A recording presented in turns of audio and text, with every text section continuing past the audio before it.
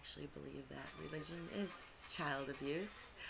Um, I don't, as Richard Dawkins also believes, that the parents should not be locked up and the kids taken away to some weird camp or whatever you people think we're saying. We're saying that to bring up a child and to label them whatever their parents' religion is is child abuse.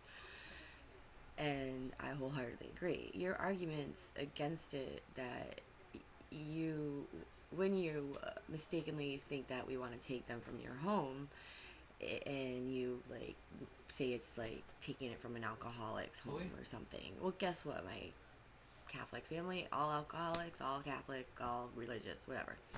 Take them. But anyways, um, I digress. I was thinking more of the Christian scientists who believe that they can pray illnesses away, and they do actually go into their homes, take the children away um, if the parents refuse to get the medical care that the state deems necessary.